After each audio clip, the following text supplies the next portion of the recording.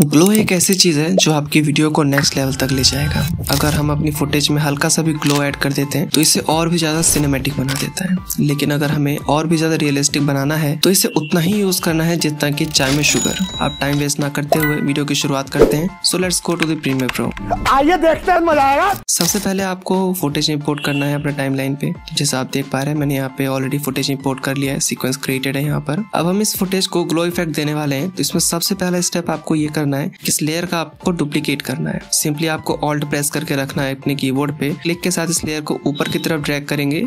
कुछ इस तरह से जैसे मैं कर रहा हूँ तो आपका लेयर डुप्लीकेट हो जाएगा।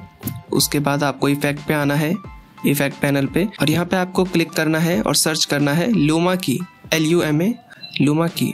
यहाँ पे आपको नीचे दिख रहा होगा लूमा की। इससे आपको ड्रैग करना है और जो लेयर आपने डुप्लीकेट किया है, उस पर आपको ड्रॉप कर देना है। ड्रैग एंड ड्रॉप इसके बाद आपको इफेक्ट्स कंट्रोल पैनल पे आना है और यहाँ पे नीचे स्क्रॉल करना है। यहाँ पे आपको दिख रहा होगा थ्रेश थ्रेश के ऑप्शन को आपको कुछ भी नहीं करना है। इसे हंड्रेड परसेंट ही रहने देना है। उसके बाद आपको नीचे यहाँ पे कट ऑफ़ दिख रहा होगा। इसे आपको अपनी वीडियो के अकॉर्डिंग एडजस्ट करना है। मैं आपको कुछ बातें हैं जो बता देता हूँ। अभी जो मैं आपको सिचुएशन बताने वाला हूँ कि कौन सी चीज़ आपको कितना एडजस्ट करना है, ये आपके अपने अकॉर्डिंग होगा कि आप कौन सी यूज़ कर रहे हैं तो उस पर कितना इफ़ेक्ट अच्छा लग रहा है, उस हिसाब से ही आप इसे यूज़ करें। तो जैसे मैं यहाँ पे मैं यूज़ कर रहा हूँ, इसमें कट ऑफ़ मैंने रखा है ट्वेंटी टू परसेंट और cut off twenty two percent रखने के बाद आप देखेंगे तो प्रीव्यू पैनल में आपको उसका जो इफ़ेक्ट है वो शो होने लगेगा। उतना ज़्यादा आपको इफ़ेक्ट अभी पता नहीं चलेगा। इसके बाद हमें एक और इफ़ेक्ट इस पे अप्लाई करना है, जिसके लिए आपको दोबारा से इफेक्ट्स पैनल पे जाना है। यहाँ पे आपको सर्च करना है गौशन ब्लर नीचे आपको दिख रहा होगा गौशन ब्लर इफ़ेक्ट आपको शो हो रहा है। इसे भी आपको ड्रैग करना है। और ड्रॉप करना है अपनी डुप्लीकेट वाली लेयर पे।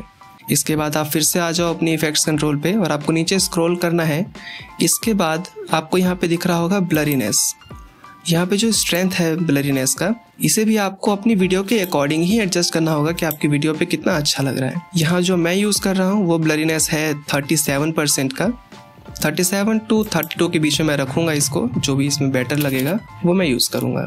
ओके एंड देन इसके बाद आप ब्लरीनेस के नीचे आप देख रहे होंगे, एक और ऑप्शन है रिपीट एच पिक्सल्स का। इस पे वैसे तो इस पे टिक रहता है, अगर यहाँ पे टिक ना हो तो इसे आप टिक कर दें, ताकि आपकी जो ब्लरीनेस है, ये आपके स्क्रीन से बाहर ना जाए और काफ़ी अच्छा इसमें आपको लुक दे सिनेमैटिक फील दे आप ओके आप देख रहे होंगे कि जो भी आपने इफेक्ट्स अप्लाई किए हैं, इसका आपको प्रीव्यू पैनल में रिज़ल्ट शो होने लग जाएगा। एंड एट लास्ट मैं आपको बता दूँ अभी जो हमने सेटिंग्स यहाँ पे की हैं, ये सारे अप्लाई कर सकते हो जो अपनी फुटेज आप यूज़ करने वाले हैं उस पर। इंश्योर करना कि हर फुटेज पे एप्लीकेबल नहीं होगा, ये एक हिट एंड ट्रायल मेथड है। आप हर सेटिंग को खुद से अरेंज करो और उसका वैल्यू इंक्रीज करो अप डाउन करो, ताकि आपको परफेक्टली पता चल जाए।